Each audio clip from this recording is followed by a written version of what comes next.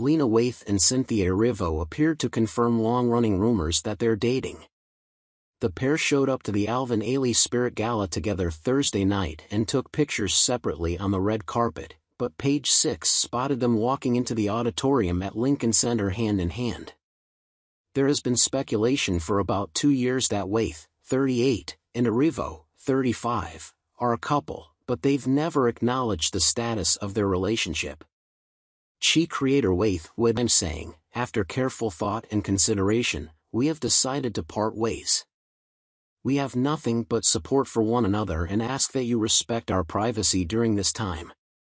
Erivo, for her part, was previously romantically linked to British singer and actor Dean John Wilson and Mario Martinez.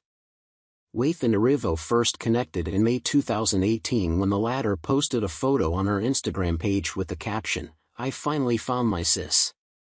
Lena you are absolutely everything. You are perfection. What a meeting of minds, glad to have you in my life. Stuck like glue. Shine Queen Shine.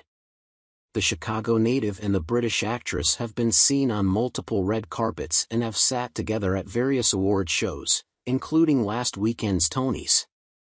Erivo starred in the Broadway play The Color Purple from 2015 to 2017 and went on to portray Harriet Tubman in the 2019 biopic Harriet. She has won an Emmy, a Grammy and a Tony and has been nominated for two Oscars. Her latest role is Elphaba in the upcoming John M. Chu-directed movie adaptation of the Broadway classic Wicked, co-starring Ariana Grande as Glinda the Good Witch. Waithe, meanwhile, made history in 2017 as the first black woman to win an Emmy for Outstanding Writing for a Comedy Series for her work on Master of None. Amy Poehler, Lorraine Toussaint, Amy Sherald and Gillian Hervey also attended the Ailey Spirit Gala.